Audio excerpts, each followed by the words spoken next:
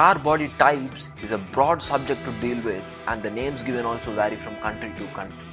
As of now, it is estimated that there are 142 types of bodies, but they can be nicely classified into 15 types, which I am going to discuss here. Microcar is a small car whose length is less than 3 meters and its interior volume will be less than 85 cubic feet. Mostly, these cars are equipped with less powerful and low capacity engines, say no more than 1000 cc, and this car design can accommodate only two people. Any 3 door or 5 door car that comes with a rear door that swings upward completely along with the window to increase cargo area, we call it as hatchback. Next, we have sedan. Sedan usually comes with a three box configuration with each of the boxes categorically used for engine, passenger and cargo. Sedans have several subtypes but fastback and notchback are very famous among them. A fastback is a sedan with continuous slope from the roof to the base of the deck lid but this excludes the future of the hatchback like it will not open the rear door completely along with the rear window whereas in case of notchback the slope is discontinuous or will have abrupt changes from the roof to the deck lid.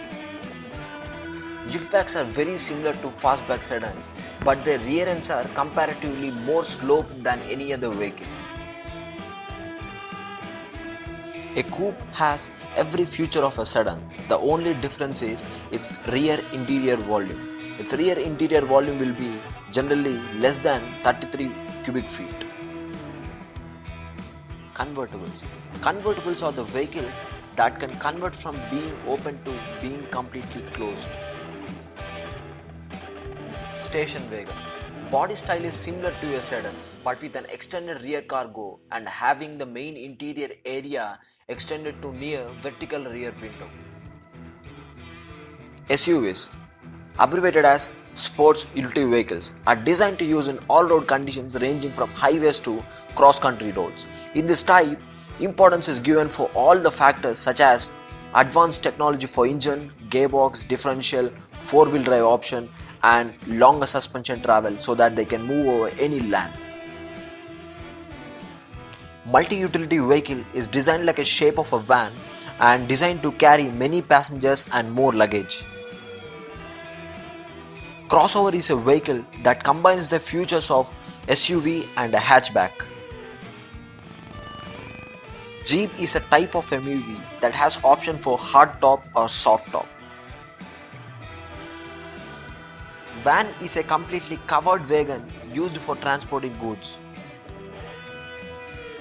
Semi convertible or cabrio coach is a type of a vehicle that has retraceable textile roof similar to a convertible or cabriolet.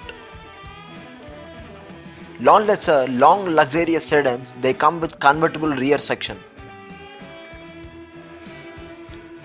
Limos are very luxurious sedans with fully covered body and have luxurious compartments inside. I really appreciate your patience and thanks for watching.